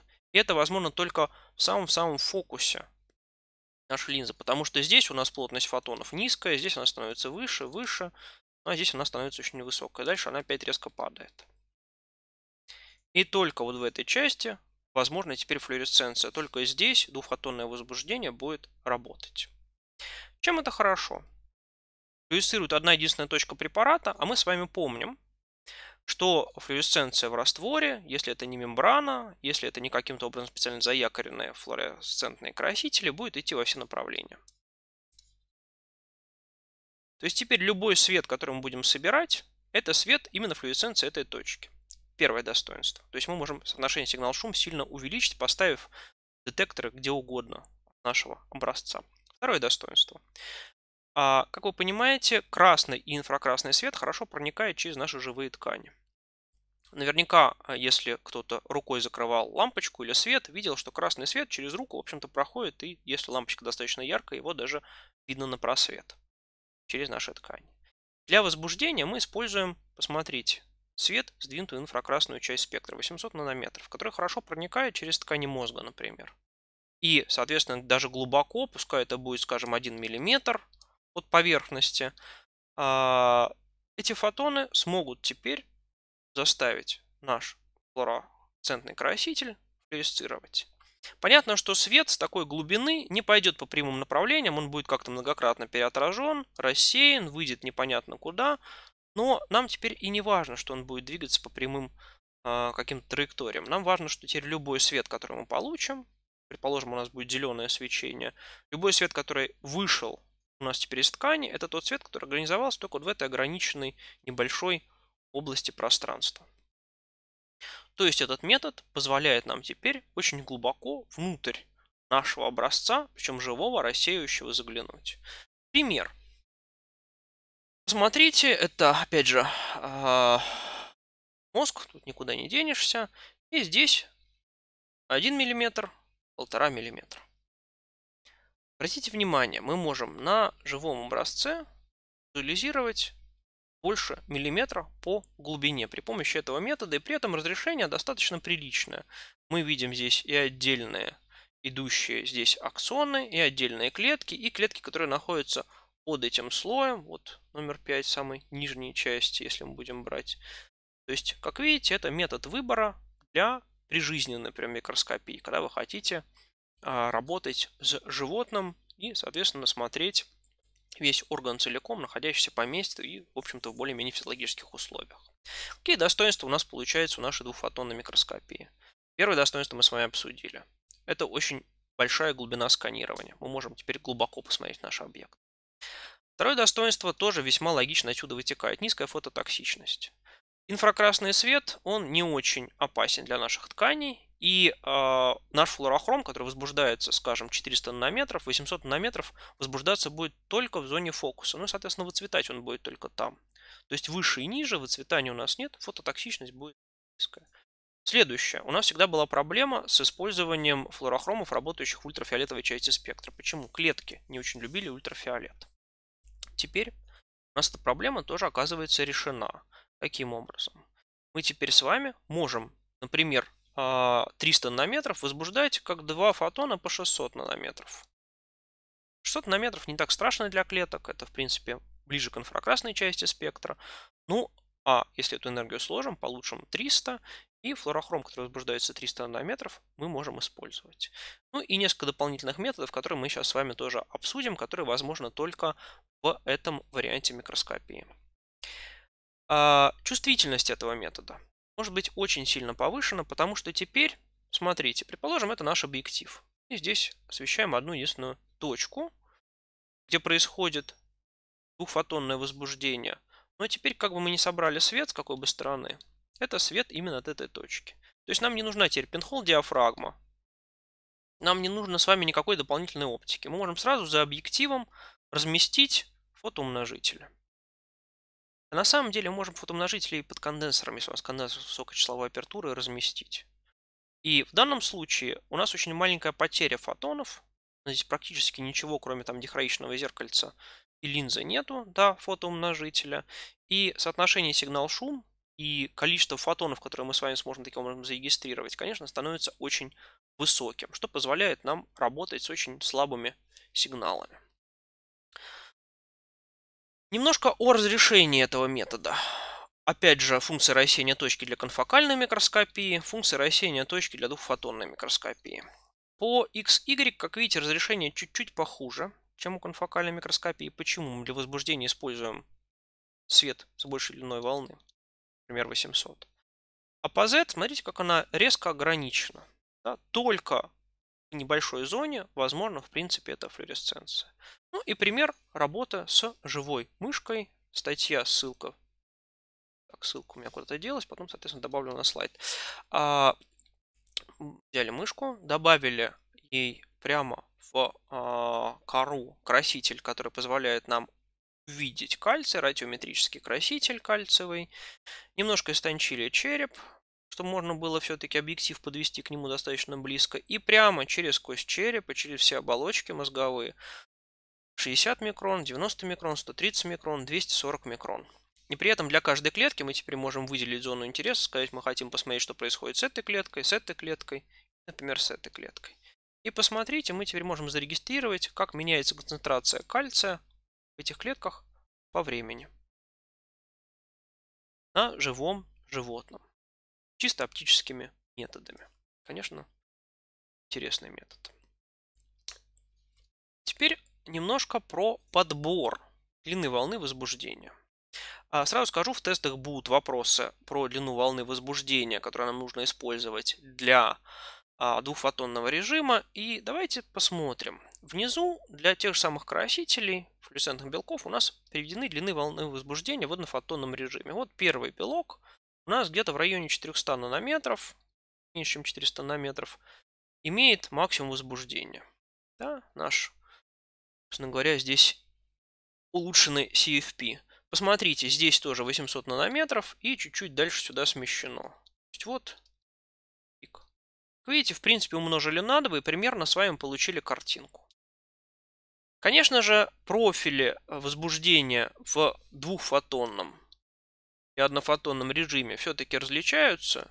Это не прямо умножить на 2. Но в большинстве случаев, если вы не знаете, какую длину волны возбуждения взять для вашего красителя, вы смотрите как он возбуждается в однофотонном режиме.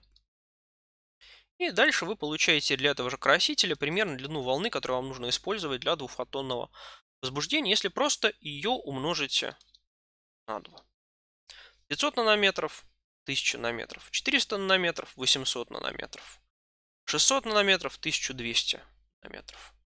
Идея, я думаю, более-менее понятна, почему она двухфотонной микроскопией и называется. Ну а теперь два дополнительных метода, которые возникают только с применением этого варианта микроскопии, по-другому никак совершенно невозможно. Это генерация гармоник. Я не буду даваться в физику, а, но процесс, который мы сейчас будем описывать, отличен от флуоресценции, потому что он происходит моментально. Если флуоресценция если помните, на поглощении на саму флуоресценцию занимал достаточно большое время. Это процесс из так называемой нелинейной оптики, и время, которое он занимает, очень быстро. А в чем его э, смысл? Если у нас будет два фотона, скажем, по 400 нанометров, то мы можем с вами получить, извините, пускай будет по 800 нанометров, чтобы было удобнее, то мы с вами можем получить один фотон, скажем, 400 нанометров при определенных условиях. Это генерация так называемой вторичной гармоники. Что это за условия? Это молекулы, которые не имеют симметрии, собранные в упорядоченные структуры. Коллаген, микротрубочки, миозин мышечный и так далее. При этом, так как это не флуоресценция, нам ничем красить не нужен образец. Если у нас есть молекула, обладающая такими свойствами, и мы используем с вами достаточно мощное импульсное излучение, которого достаточно для двухфотонного возбуждения флуорохромов, то и вот эта вторичная гармоника будет автоматически у нас получаться. То есть, если мы теперь поставили 2 по 800 и на 400 нанометров поставили регистрацию, мы ее можем увидеть. Примерно то же самое и с третичной гармоникой. Предположим, мы взяли теперь а, три таких фотона, и они теперь могут сложиться у нас в три раза меньшую длину волны, быть здесь излученными. А, третичная гармоника чуть более интересная. Она возникает в местах, где резко изменение коэффициента преломления. Предположим, у нас есть какая-то липидная капля, которая находится в цитоплазме. Понятно, что коэффициент преломления здесь будет, там, не знаю, 1,5, здесь, скажем, 1,42. Резкое изменение коэффициента преломления, и вот в этих местах будет формироваться это вот третичная гармоника. Опять же, никакой метки, никакого флуоресцентного красителя нам для этого не нужно. Это происходит само по себе. Что мы увидим в этом случае, без какой-либо дополнительной метки? А, мембраны органелл, мембраны клеток, жировые включения. Понятно, раз жировые включения, то меланизированные аксоны и так далее. Пример картинки. Это ничем не окрашенная ткань, то есть никакой окраски здесь нету. Единственное, мы взяли какую-то длину волны и теперь посмотрели в э, два раза короче и в три раза короче длины волн, которые мы отсюда получаем. Так называемую вторичную и третичную гармонику. В виде э, вторичной гармоники мы взяли теперь окраску такую, псевдоцвет циановый, вот он здесь. Мы видим коллагеновые волокна, которые в обычном случае не очень хорошо видны. И в виде вот такого фиолетового мадженты мы взяли, соответственно, сигнал от третичной гармоники, это жировые включения. Так как эта ткань жировая, то, соответственно, вот эти липидные капельки теперь стали очень хорошо видны. Как видите, никакой метки нам не нужно, и на самом деле мы можем при помощи этих методов увидеть очень много чего интересного. Предположим, если у нас есть в срезе мозга какие-то упорядоченные проводящие пути, много-много аксонов идут очень-очень вместе друг с другом, предположим, маховидные волокна гиппокампа из С1 к зубчатому ядру. Вот, видите, без всякой метки они видны. Или другой вариант. Э, предположим, есть сетчатка. В сетчатке, как вы помните, есть место, где входит нерв. Ну и дальше аксоны расходятся радиально, чтобы всю сетчатку иннервировать. И в случае некоторых повреждений, например, а, в случае глаукомы, да, получается повреждение зрительного нерва, и оно выпадает такими секторами. И здесь как раз видно и вот эти аксоны, и видны поврежденные сектора. Напомню, что это без какой-либо дополнительной окраски. Это чисто оптический феномен, который мы получаем бесплатно, то есть даром. На этом мы с вами завершили о двухфотонной микроскопии. Это крайне удобный, интересный и очень сейчас сильно развивающийся метод, особенно учитывая, что теперь импульсные лазеры, необходимые для его возбуждения, сильно подешевели, и я думаю, что эти микроскопы будут все больше и больше использоваться. Теперь давайте поговорим о э, возможности получения более высокого разрешения. Ведь э, понятно, что нам бы хотелось иметь от нашего оптического микроскопа, если мы работаем с живыми клетками, разрешение, не знаю, скажем, 20 нанометров бы. Да, это размер среднего глобулярного белка. И есть несколько методов, позволяющих это сделать. Как вы помните, совсем недавно за это была дана Нобелевская премия. Три метода а, в этой Нобелевской премии было упомянуто. Это метод STET и два метода локализационной микроскопии. Давайте посмотрим. Для начала первый метод, а, который наиболее прост для понимания. Для того, чтобы его описывать, нам нужно вспомнить одну интересную вещь, а именно то, как работает лазер. Предположим, что у вас есть некоторый а, газовый лазер, у вас есть, предположим, какая-то трубка с газом, который ионизирован. То есть каждая отдельная вот это вот атом лазера находится в возбужденном состоянии и способен излучить фотон. Но согласитесь, э, в принципе, излучение фотонов будет случайным. И когда-то испустит вот это вот молекула, это атом, когда-то вот этот. Но теперь давайте мы поставим с двух сторон этой трубки два зеркала. Одно зеркало у нас будет 100% отражающим. Понятно, что процентов, конечно, никогда не бывает, но сильно отражающим. Другое, скажем, 70% отражающим. Ну и, соответственно, 30% пропускающим. Что произойдет, если у нас вдруг какой-то один атом решит излучить в этом направлении? Понятно, что есть шанс, что этот фотон теперь отразится в обратную сторону и также будет двигаться теперь сюда, до этого зеркала. Но, проходя мимо других атомов, которые готовы излучить, хотели бы, но пока еще не решились, событие прохода этого фотона мимо него заставит его испустить точно такую же копию фотона, с той же самой длиной волны, с той же самой фазой, ну просто клон. Теперь у нас таких фотонов много уже, и э, остальные атомы у нас тоже испускают свои фотоны с той же самой совершенно фазой, с той же самой длиной волны, ну то есть копия-копия. Так как у нас из этого зеркальца какое-то количество все-таки света 30% может выходить, мы получаем как раз лазерное излучение. Много фотонов с одинаковой фазой, с одинаковой длиной волны, ну и, соответственно, интенсивность достаточно высокая. Но заметьте, что происходит. Если у нас есть возбужденный, положим, атом, или если мы говорим о флуоресцентных молекулах, соответственно, молекула, и если к ней мы теперь подаем какой-то фотон с длиной волны, на которую она в принципе теоретически может излучить, на выходе мы с вами получим и тот фотон, который прошел рядом, и точно такую же копию фотона от этой нашей молекулы. Ну и теперь наша молекула станет неактивной, не способной флуоресцировать до следующего поглощения возбуждающего света. Это ключевой момент для этого метода. Так называемая стимулированная эмиссия. То есть то, что мы светом определенной длиной волны можем все возбужденные флуорохромы перевести в невозбужденное состояние и заставить излучить точно такой же фотон. Теперь представьте, у нас есть некий препарат, Мы его возбудили, скажем, зеленым светом. А теперь, э, например, подали на него красный свет, который, в принципе, еще попадает э, в спектр испускания этого флуорохрома. Ну, нашего флуорохрома спектр испускания, например, такой от зеленого до красного. И мы вот здесь вот в красную область ему подали достаточно-достаточно яркий свет. А теперь мы пытаемся зарегистрировать флуоресценцию. Понятно, что все флуорохромы у нас теперь оказались здесь не светящимися. Ничего мы с этого препарата с вами зарегистрировать не сможем. Ну и теперь вещь, за которую дали Нобелевскую премию. Примитивная, как всегда, на самом деле, но кто-то до этого должен был первым додуматься. Предположим, мы используем возбуждающий свет, и у нас есть э, минимальная возможная область возбуждения, та самая функция рассеяния точки. Предположим, она у нас порядка 200 нанометров. Понятно, что в этом случае будут возбуждаться все флуорохромы, которые находятся в этой области. И от них же мы сигнал, в общем-то, и увидим. Поэтому разрешение нашего микроскопа будет за счет дифракционного предела этими 200 нанометрами жестко ограничено. А теперь представьте, что мы можем сформировать пучок света, тоже дифракционно ограниченный, но слегка расфокусированный. И в этом пучке света у нас окажется, что максимальная яркость сосредоточена в виде вот такого бублика с дыркой посередине размер вот этого отверстия, место, где наименьшая интенсивность света, можно регулировать при помощи интенсивности этого возбуждающего, этого гасящего пучка света. Но теперь давайте мы с вами эти две картинки друг на друга наложим. Мы возбудили все флуорохромы здесь. Мы теперь погасили с вами все флуорохромы, кроме вот этой вот центральной части, только вот эта центральная часть осталась. И что мы теперь увидим, если будем регистрировать? Весь флуорохром, который был вот здесь вокруг, мы с вами погасили у нас флюоресцирует только небольшая часть, которая будет, например, теперь у нас, ну, предположим, 70 нанометров.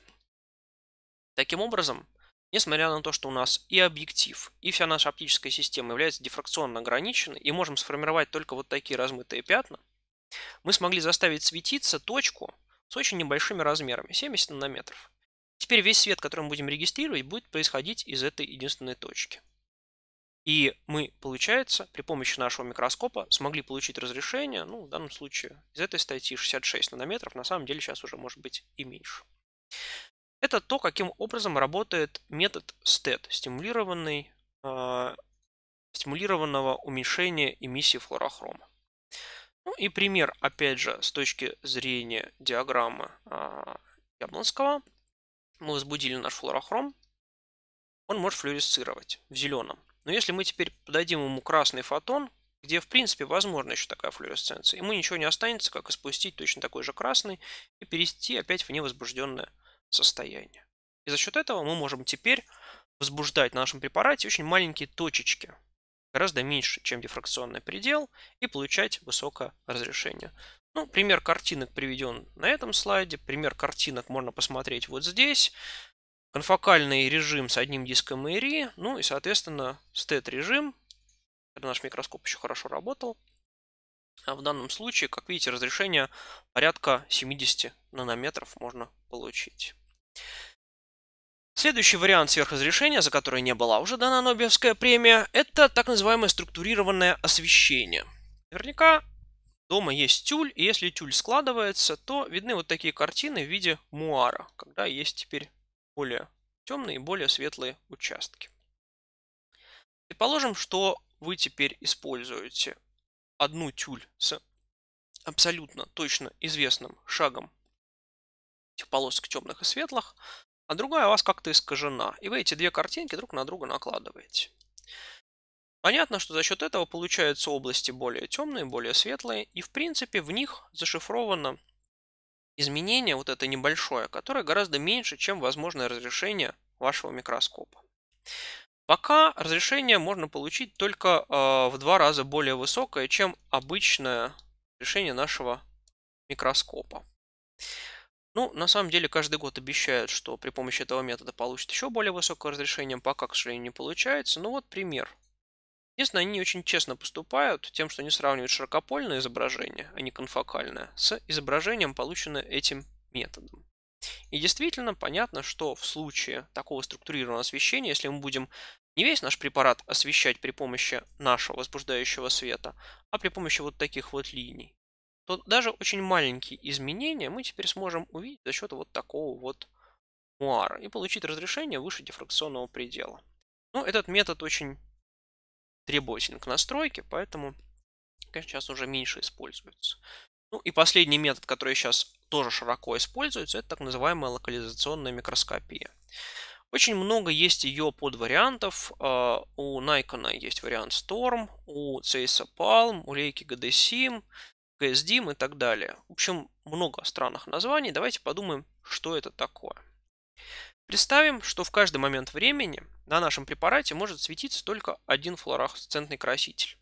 Понятно, что эта точка будет дифракционно ограничена, достаточно широкая, но в принципе, если мы получаем вот такую широкую картину нашей флуоресценции, мы можем абсолютно точно для одной единственной точки сказать, где ее центр.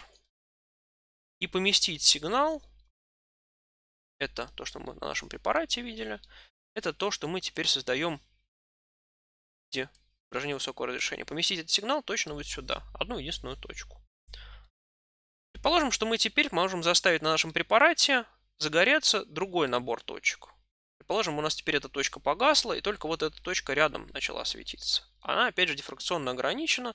Мы точно так же можем сказать, что центр ее где-то вот здесь находится.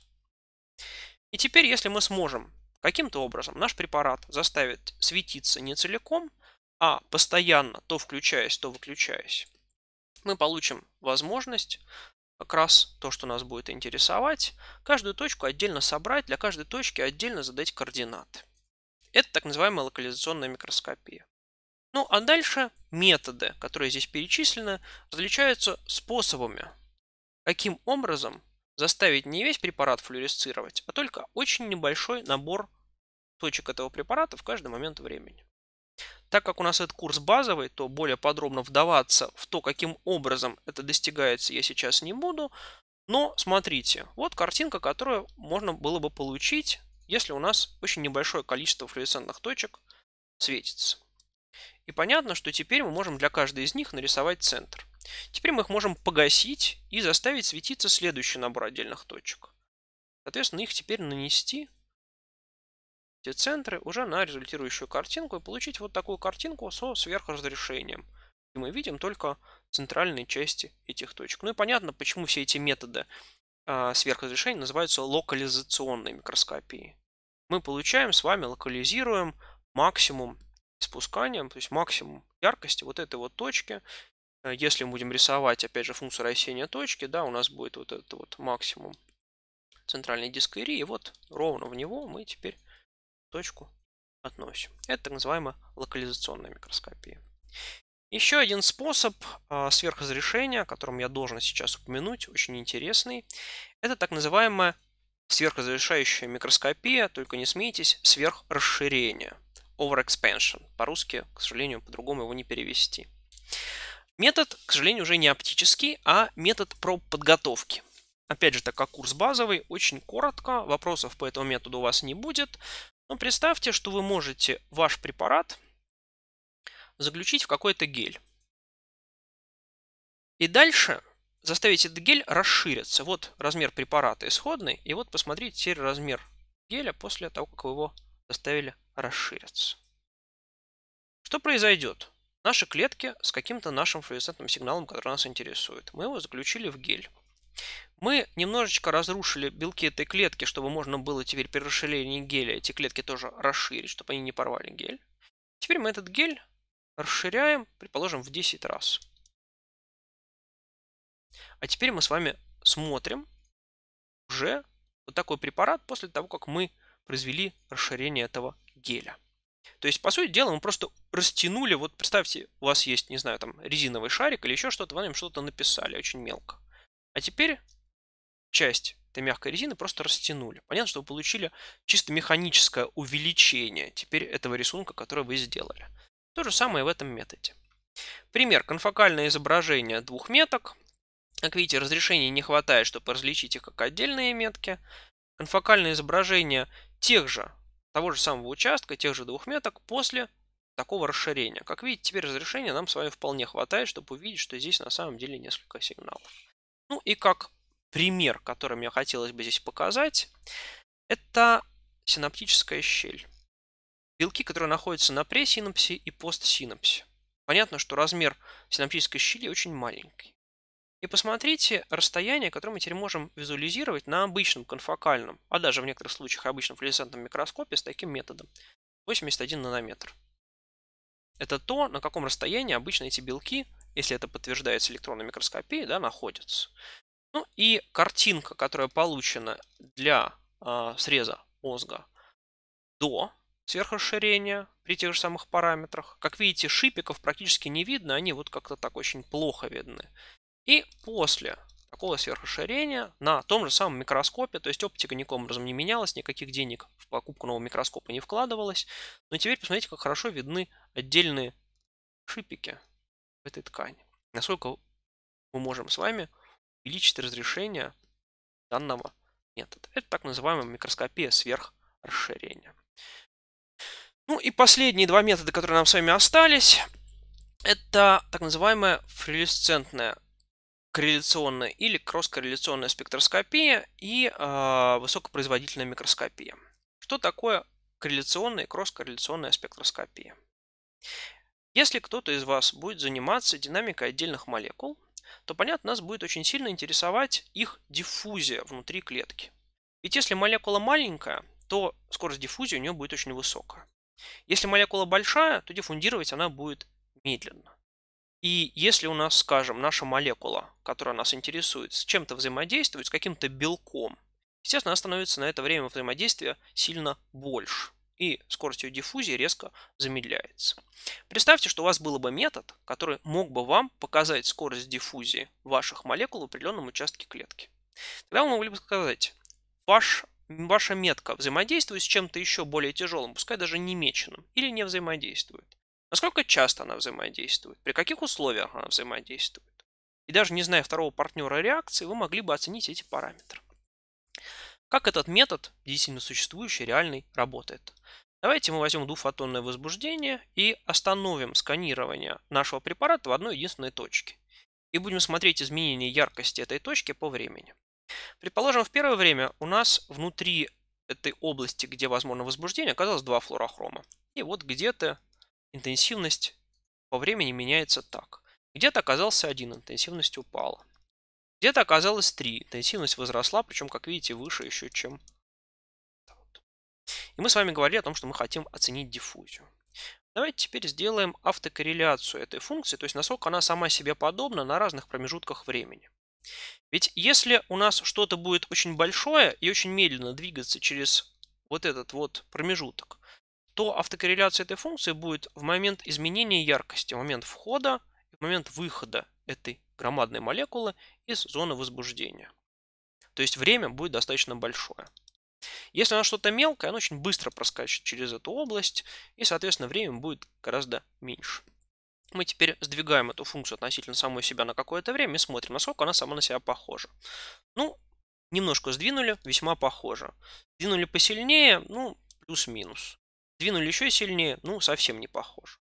И теперь мы можем такие значения отложить. Здесь функция сама на себя абсолютно достоверно похожа, здесь абсолютно недостоверно похожа. Понятно теперь, чем мы ее больше будем сдвигать, тем меньше она будет сама на себя похожа. И есть а, у нас возможность сказать, что, скажем, вот для первого варианта взаимодействия она себя, сама на себя была похожа только на малых временных промежутках. Значит, диффузия была достаточно быстрой. Здесь она похожа на больше временных промежутков. Значит, диффузия была значительно медленнее. Если кто заинтересуется этим методом, ссылка для более подробного ее изучения. Ну а вторая вещь, которую мы можем использовать с этим же методом, это кросс-корреляционная спектроскопия. Представьте, что у вас задача изменилась. Вы знаете обоих партнеров реакции. У вас есть, например, какой-то комплекс, который собирается из двух белков. И вы хотите посмотреть, какое время этот комплекс находится в собранном состоянии, а какое время этот комплекс находится в разобранном состоянии. А что если мы теперь пометим каждый из участников этого комплекса разным флуоресцентным красителем. Один будет флуоресцировать, скажем, в красной части спектра, другой, скажем, в синей. И одновременно будем регистрировать на два детектора. Это детектор, что мы увидим в синем, это все, что мы видим в красном. Если эти комплексы собраны вместе, согласитесь, что яркости будут полностью коррелировать. Они будут практически одинаковые. Вместе войдут здесь и красный, и синий, вместе здесь и выйдут. Если же этот комплекс разобран, и мы точно так же с вами регистрируем для синего и для красного, то э, корреляции между ними практически никакой не будет. Таким образом, мы можем установить, какой процент у нас крупных молекулярных комплексов будет вместе, какой будет отдельно. Суммируем. Конфокальная микроскопия, если мы говорим о колокализации объектов, позволяет нам говорить о том, на каком расстоянии находятся объекты исследования в каком-то одном клеточном компартменте, предположим, около 500 нанометров. Метод FRED о котором мы говорили, позволяет нам говорить, взаимодействуют ли объекты исследования на очень маленьких расстояниях, скажем, 5 или меньше нанометров. Флимфред. Какая часть объектов исследования взаимодействует на этом расстоянии и насколько часто? Прап. Насколько быстро вся совокупность объектов, которые мы исследуем, передвигается на дистанции в несколько микрон, ну, например, между клеточными компартментами. Флуоресцентная корреляционная спектроскопия. Какова концентрация молекул и какова скорость диффузии отдельных молекул, которые мы изучаем. Люминесцентная кросс-корреляционная спектроскопия. Какой процент отдельных молекул, которые мы с вами регистрируем, передвигается совместно, а какой, соответственно, раздельно. И еще один метод, который я только упомяну, мы о нем будем говорить, когда будем говорить про электронную микроскопию, это корреляционная светоэлектронная микроскопия. То есть вы вначале делаете препарат, который можете посмотреть под оптическим микроскопом, а потом этот же препарат переносите под электронный микроскоп, чтобы посмотреть его под большим разрешением. И, естественно, а, с развитием биологии мы сейчас начинаем смотреть все более и более маленькие изменения наших а, объектов в ответ на какое-то воздействие. Поэтому нужно набирать статистику, чтобы могли говорить о том, что эти маленькие изменения, они не случайны, а являются закономерностью в ответ на какое-то наше экспериментальное воздействие.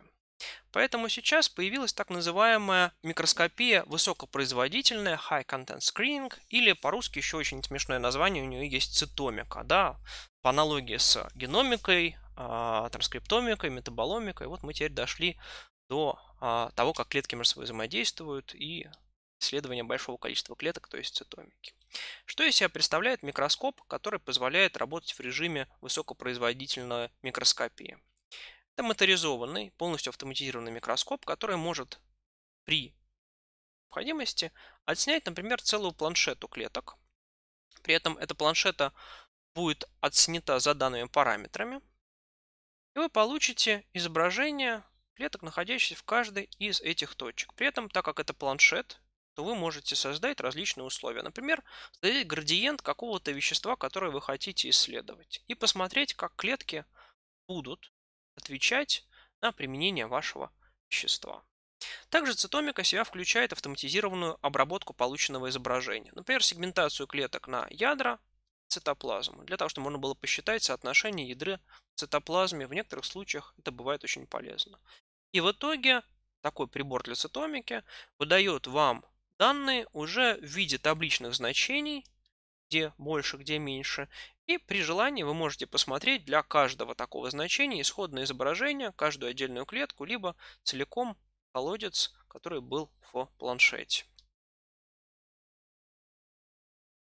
Понятно, что это возможно и в случае микроскопов а, проходящего света, и в случаях флуоресцентного микроскопа, и, как видите, в случаях конфокального микроскопа. Более того, планшеты могут быть не обязательно 96-луночными. Здесь может быть больше тысячи лунок, и вы можете за один раз исследовать больше тысячи различных э, вариантов вашего эксперимента. Понятно? Понятно, что при этом статистика будет очень высокая, и вы сможете после обработки эти данные уже э, с высокой степенью достоверности использовать. В принципе, эти приборы могут быть и совсем не похожи на микроскоп. Это может быть вот такая автоматизированная, например, станция. И, к примеру, вы можете исследовать, предположим, влияние количества или концентрации вашего вещества на разные типы клеток. Например, две линии клеток или вторая линия. Например, какая-то концентрация вещества, которая вызывает апоптоз клеток в итоге. И вы можете покрасить митохондрии метатрекером красным, например, и зеленым покрасить какой-либо маркер апоптоза, например, каспазу.